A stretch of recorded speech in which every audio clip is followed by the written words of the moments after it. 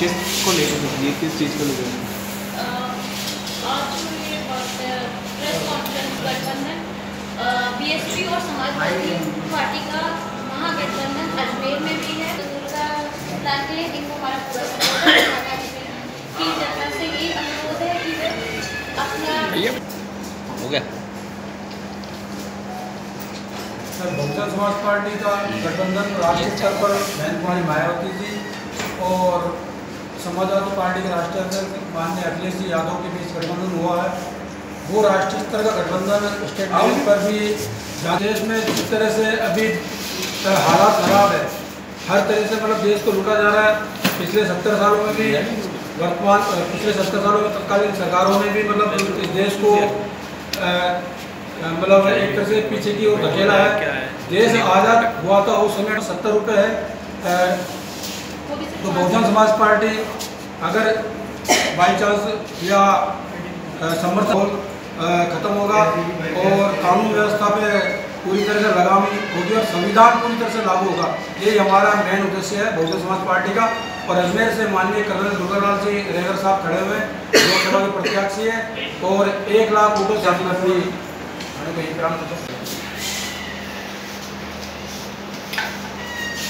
अभी प्रत्याशी जी मौजूद है सर। हाँ अच्छा आप मतलब वो पानी की सप्लाई का।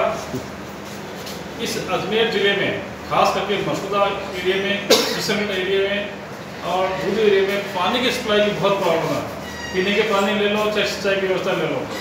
तो कहीं कहीं जो है इसकी जो हमने जिसकी वजह से जो पानी की सप्लाई सुचारू हो सके। मैंने पिछली बार जब मैंने विधानसभा का इलेक्शन लड़ा था अपने मसूदा से तो मैंने मेरी आर्मी ऑफिसर्स की रिटायर्ड आर्मी से एक टीम बुलाई थी। और उनसे मैंने प्रोजेक्ट की स्टडी करवाई थी क्योंकि हम लोग जब जाते हैं पहाड़ों के अंदर तो लिंकिंग करना क्या पड़ेगा। आपके दिमाग में मेरे दिमाग में सबसे पहला जो प्रोजेक्ट है वो चंबल का प्रोजेक्ट है और यमुना का प्रोजेक्ट है। यदि चंबल को हम लोग अपनी खाड़ी में डाल देते हैं बनाना डाल देते हैं और यदि हम यमुना को लिंक कर देते हैं तो पानी की हमारे पास कोई समस्या नहीं है पानी इतना भरपूर हो जाएगा। पानी पीने के अलावा साथ साथ सिंचाई का पानी भी हम लोग इस्तेमाल इस्तेमाल कर हैं। कांग्रेस और बीजेपी से कैसे पार पाओगे? दोनों बड़ी पार्टियाँ हैं। अब हमारा एक मिशन है। हम लोग जो संविधान को लेकर चलते हैं और अभी हमारे पास जो पिछली बार जब मैं मस- मसूदा चुनाव लड़ा था उस समय मेरा फॉलोअर थे मान लो पाँच हज़ार। तो अभी मैं सोच रहा हूँ कि जब पूरी अजमेर कंस्टिट्यूंसी में है तो मैं तकरीबन पचास हज़ार जो है मेरे वोट की मेरे एक्सपेक्टेशन जरा नहीं पचास हज़ार वोट तो कम से कम पचास हज़ार आदमी जो है मेरे साथ जुड़ेंगे। तो नेक्स्ट अभी कोई ये जो अवेयरनेस राजनीतिक अवेयरनेस आएगी पॉलिटिकल अवेयरनेस आएगी तो हो सकता है नेक्स्ट टाइम में लोग जो है अभी आपके जिलाध्यक्ष तो कह रहे थे एक लाख जीतोगे आप नहीं उनसे पहले उन्होंने कहा बाई चांस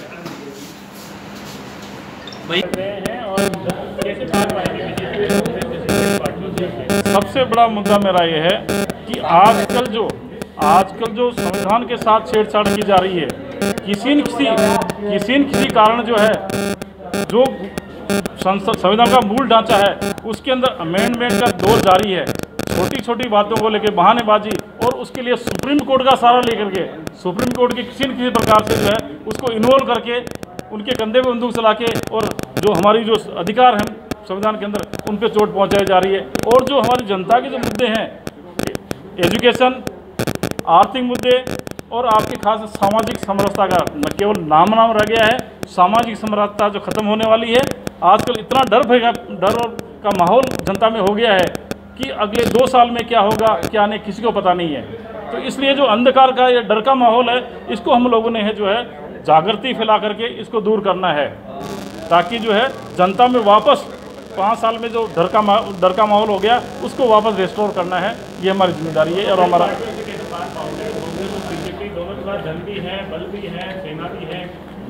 साहब, देखिए, मेरा केवल एक ही मुद्दा है। मेरी ईमानदारी, मेरी मेहनत और मेरी इमेज एरिया के अंदर। हमारे पास वोट काफ़ी हैं।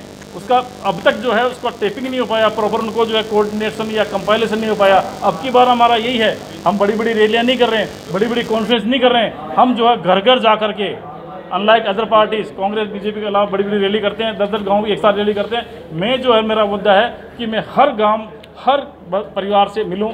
ये का उदाहरण है पिछले मसदा क्षेत्र का कि कोई गाँव, कोई घर ऐसा नहीं है जो मैं नहीं गया हूँ। हर गाँव, हर बस्ती वाले आज मेरे को बाई फेस भी जानते हैं बाई नेम से जानते ही जानते हैं। तो जो मेरा जो है कि जब तक आप कम्युनिकेट नहीं करोगे, जब तक मेल मिलाप नहीं करोगे, आप उनको कन्विंस नहीं करते हैं। और मेरा यही पला है कि मैं उनको कन्विंस कर पाऊँ कि भाई कि वो मेरे को वोट क्यों दें? बहुजन समाज पार्टी का क्यों फॉलो करें वो? तो हमने जो बहुजन समाज पार्टी के जो जो मुद्दे हैं, वो सामने रखे हैं। आज पता लग रहा है कि यस, ये दोनों पार्टियाँ जो है, ये किसी न किसी प्रकार से दुनिया को, जनता को भ्रमित करती है।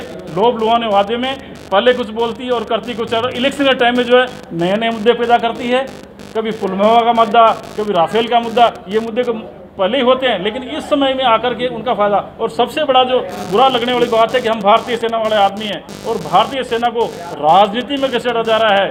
एक बात बताता हूँ, जब जब जिस जिस देश के अंदर भारतीय सेना नहीं दूसरी कोई भी सेना को यदि राजनीति में घटा गया, उस देश का पतन निश्चित है।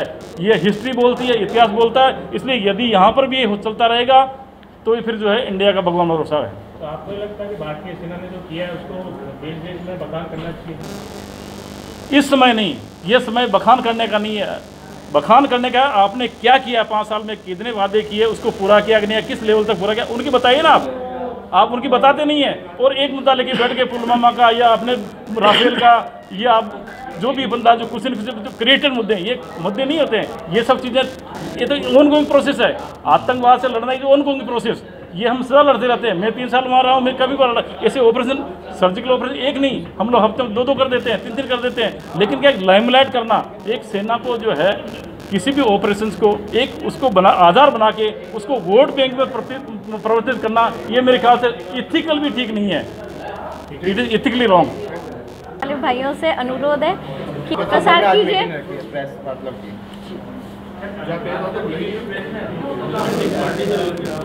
हाँ अ, 2017 और 2018 के जो अजमेर में इलेक्शन हुए उसमें हमारे पास एमएलए और एमपी एक बार बीजेपी और कांग्रेस दोनों के ही आ चुके हैं। और उसके बाद भी अजमेर अभी भी डेवलपमेंट के डोर स्टॉप डोर स्टेप पे खड़ा है। विकास का कहीं नामो निशान नहीं है। तो एज अ विकल्प, माननीय दुर्गा लाल जी, एक अच्छा विकल्प है। अजमेर की जनता के लिए, अजमेर की जनता सूझबूझ से अपने इस अधिकार का यूज़ करें और इनको वोट दीजिए। और बारी बारी से जो बीजेपी और कांग्रेस अब तक सत्ता में आई है और उनने सिर्फ़ और सिर्फ़ जनता को छला है तो मेरा जनता से यही है कि वो दुर्गा लाल जी को वोट दें। रणनीति जो हमारी है वो आपको जल्दी इलेक्शन के रिजल्ट्स में नज़र आएगी और यही रणनीति आपको वोटिंग में दिखेगी। जीत के प्रति कितना? जीत के प्रति मेरे तरफ़ से तो हमारा पूरा इनको सपोर्ट है और हम यही कामना करते हैं कि जीतेंगे।